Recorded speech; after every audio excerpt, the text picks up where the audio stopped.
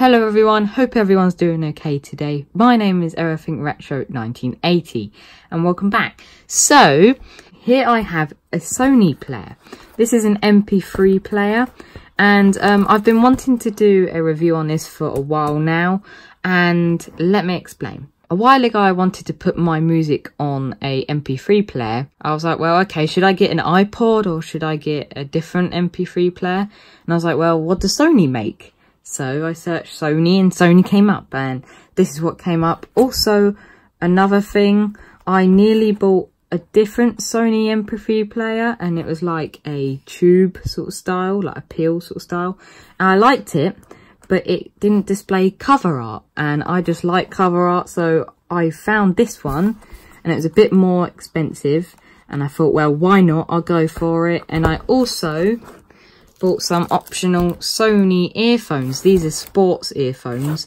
These are the MDR AS210AP for sports. The features of these are their splash proof, movable loop hanger suspension mobile, hands-free phone calls, tangle-free serrated cable, and also it features a play, pause, answer, and end button, which is just cool because you know, if you were using your phone with these, you know, and someone calls you and you can hear it and it's like, well, I don't want to bring on my phone out because then my keys fall out or something else important.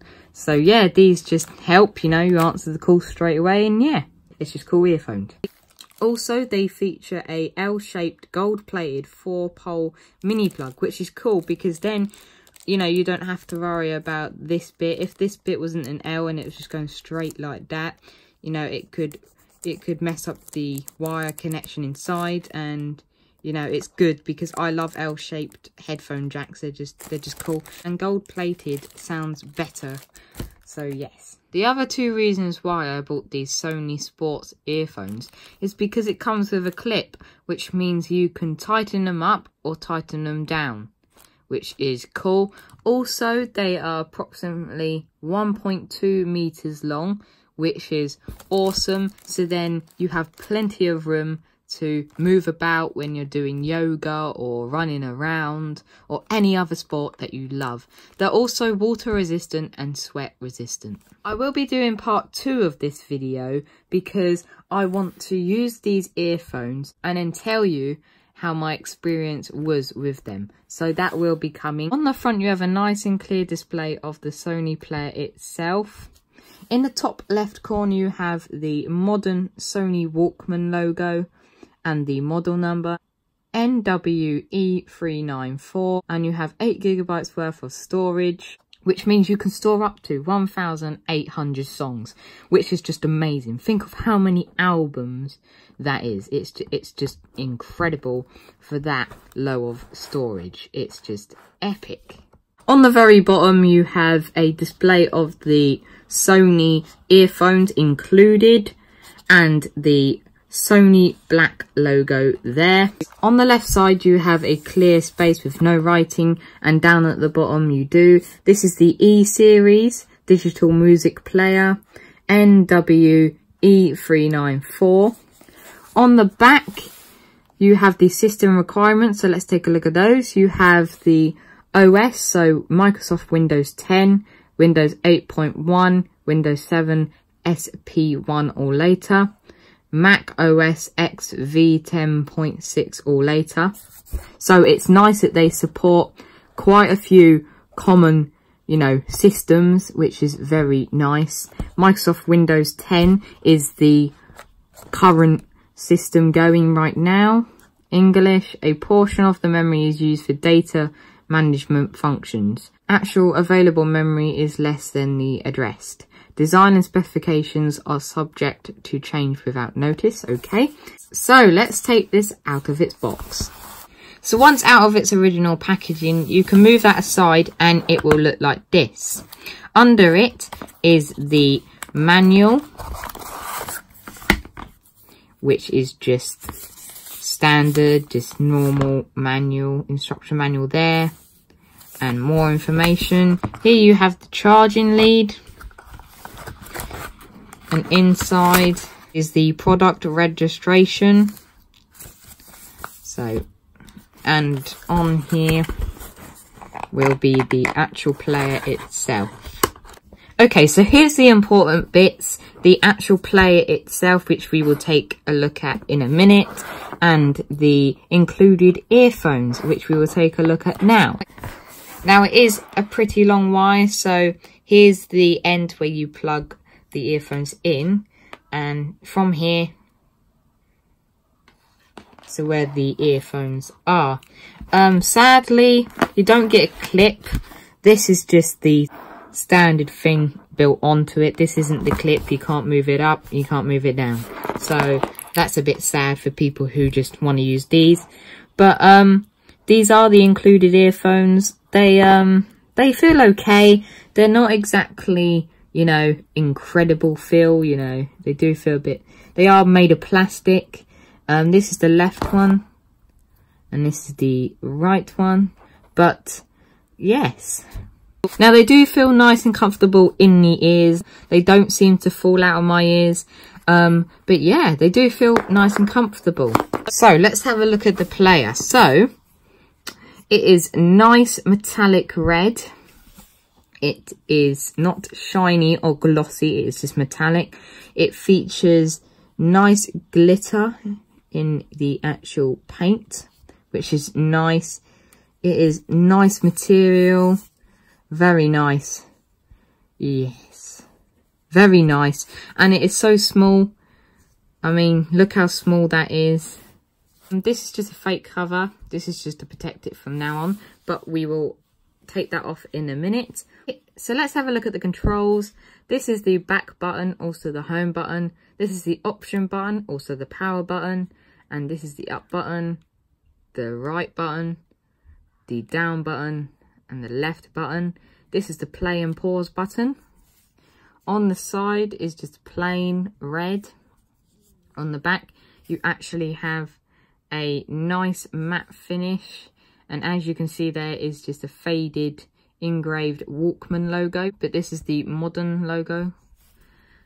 Down here, you have a description, digital music player, and here is the restart button just in case something goes wrong.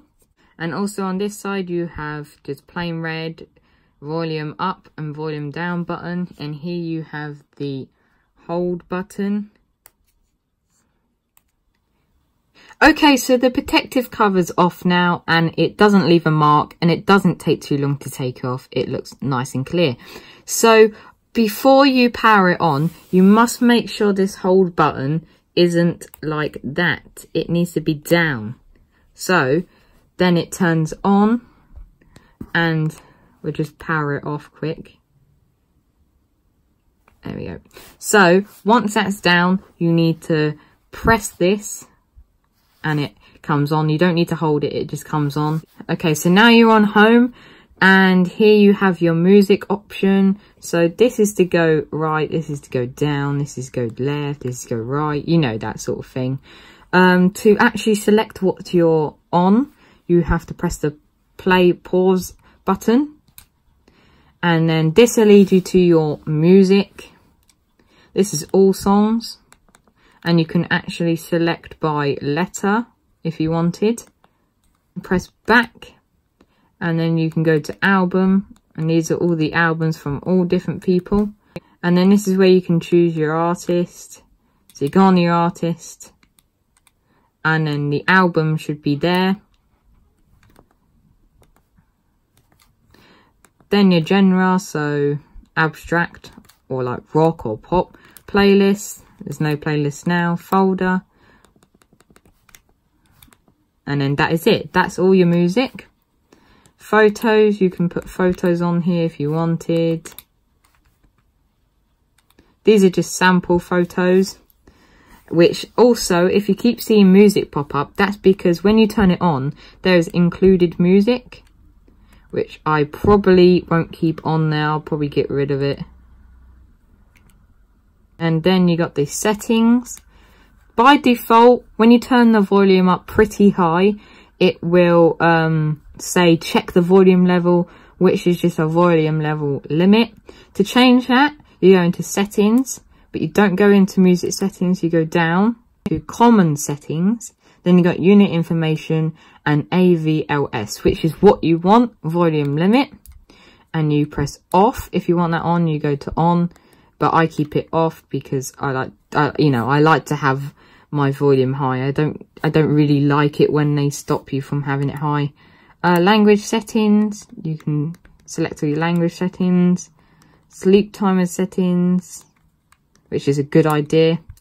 And FM radio settings, photo settings. I probably won't use photo, there's really no point. So, in the music settings, you have play mode. So, you have normal, repeat, shuffle, shuffle repeat, and repeat one song, which is a cool idea. I probably would use that. Here's the bass boost, which you can boost the bass. I'll have it off for now. I'll turn it on when I need it. Uh, here's the equalizer. You got none, heavy, pop, jazz, unique, custom, custom. So this is where you can select your own. To go back, you just press back and yeah. So that's the music settings. So that's all the settings. In playlists, you got no playlist right now. But yeah, so let's go to FM, see what that's about. And here you can select your FM or whatever you need. And then you can select a preset if you need or want to. So we go back. I probably won't use the FM, I don't really know. And I probably won't use photos. And I might even get rid of the included songs because I do really want the storage on here. So and I don't want it getting confused. So go to song playback screen. That's to like go back to your, your songs. And this is where I want to talk about the album art. Now, I wanted this one specifically because it has album art. If you remember me saying the pill sort of style didn't have an album art, it just had a really thin screen. I don't know how anyone's supposed to see that. But on this, it's nice and small and it's really nice and clear. Like it's, you can actually see what the writing says. Down on the bottom you have the timer. And here you have the song that's playing. And here you have the all songs, which basically means what this song selected from. I selected this from all songs. So if I selected an album, it would say the album down there and the song up there, which is just a great idea. And you can also see the album there. So you can also see what the album is and who it's by. Okay, so the sound. Now the sound. It it really depends on what what earphones you're using. Now these they sound perfectly fine if you want the music there. Um, unfortunately, the bass on these earphones, yeah, it it's okay, um, and it don't particularly sound any better with the bass boost. But it really depends on what you're using. You know, um, I bought these because I knew these weren't going to sound as good, but to be honest with you, they sound fine. And, um, you know, any person that doesn't want to spend any more money on earphones, that's okay. If you just like music being there, then that's fine. You can use these. But I'm probably not going to use them. Um, for one, I really do like sports earphones because they stay on your ears and these, they stay in your ear, but they don't like, you know, if you go jogging with it, it's going to be a struggle. So, yeah. Um, but it is clear sound. Um, this player is, is just nice sound. It sounds good, I think, in my opinion. The sound is brilliant. Um, but yes. And now I'm going to show you how to add music and delete music. Okay, so once connected to the PC via the USB cable, you will get a spinning blue light. On the screen it says connected USB. The player cannot be operated. So this means you can't like touch any of these controls or play around with it while it's being connected. If you want to use it, you have to unplug. Also up there, it says it is charging. Now it says do not disconnect. So it's just warning you, do not disconnect until you're finished with what you are doing. So once the Sony Walkman is connected to the PC via the USB cable, you must go down to your file software and down on the left a text will show up saying Walkman. You must click on that and it will bring up files such as DCIM, which just includes nothing, and for Mac, which is just Mac. Sadly, I can't show as I haven't got Mac, but I have got Windows. You got Windows there. You got the help guide. You got music, and this is where all your music is. And then picture, sample photos, and these are just the sample photos. Default capability and DEV LCON dot FIL and DEVLOGO dot FIL. And that is a FIL file. Um, and that default capability one is an XML document. The rest is just a file folder. Um, but the main one that you have to focus on is the music one if you want your music. So let's get straight to that. Okay, so here I have an album, Arcadia, So Red the Rose. I only have one song in the album, and this is because I'm going to use it as an example. So if I have an album with one song in it, how do I delete it? Now, you can click on it with your left button on your mouse, and then right click on the mouse, and then press delete down here. And it will come up, do you want to permanently delete this? Yes. Then if we go back, the album is still there. So now I can click it, then right click, press delete, and delete that. Okay, so how do I delete an album with the full songs? Well, so this has 11 songs, this album. This is Duran Duran as Lights Go Down Live. It has 11 songs. I want to delete the whole album. So you can highlight like that or if you go back, you can actually delete the whole album. So click on it, then right click, go down, press delete. Are you sure you want to permanently delete this folder? Yes. And that is the album gone. So that's how you delete songs and albums. How do you add albums, artists, and songs? You must go to the website address that I will link in the description below and if you don't want to go to the link below you can type in the link which is up there. But you must follow the link. Once brought to this page which is called the music center for pc you must hit the download button at the bottom. Once pressed it will go to another page where you can press download. I won't download now because i've already downloaded it. But once downloaded you will get a downloaded file. You open it up and you install all of it, and then you open it up. It starts up automatically. You have your transfer and manage up here, and my library, which is newly added, not transferred songs, albums, artists, frequently played, recently played, playlist, import CD. So you can actually import a CD. So if you put a CD in the you know, if you're using a laptop, you can put it in the CD drive, or a PC, you can put it in the CD drive. It will automatically import from there, and you can actually put it on your um, Walkman, which is, I just think is a cool idea. I actually think that is really good. Um, but now you want to transfer your music, so so under where it says transfer manage, you click this, and it will be gold and it will be your model number and then series. You click that and it says newly added. If you haven't added anything, it won't come up. Now, I have two albums here. I have Duran Duran As the Lights Go Down Live and So Red the Rose. I currently only have one song in here, so we're going to do this one song, which is Election Day. Make sure this is lit up. Then, before you press the transfer device, you need to go to device transfer settings. Now, the reason for this is because the device has a cover art option And that's the main reason why I bought it because I like the cover art on it. Now, if you've already transferred device, you may notice that it's just blank and it has the modern Walkman logo over it. It needs to be converted to a different file in order to have the cover art displayed. So, if yours is already lit up here and it says normal transfer, transfers made in the in the original file format recommended. Files files that cannot be played with the device will be converted to AAC format and then transferred. It doesn't mention anything to do with cover art. Now, it doesn't matter because it still does change the cover art. So if we go down to here, you must press it. Auto assign transfer. The file will always be converted to AAC format and then transferred. Make sure that is lit up. But down here you've got post transfer operations and this is ticked. It says after transfer is made, delete file converted during transfer.